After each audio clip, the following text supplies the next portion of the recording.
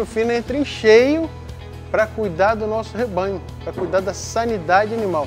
Sem um rebanho saudável não vai ter leite saudável. Então a Ouro entra com toda a gama de tecnologia, de produtos. Então ela entra em cheio no cuidado do rebanho selita, com certeza.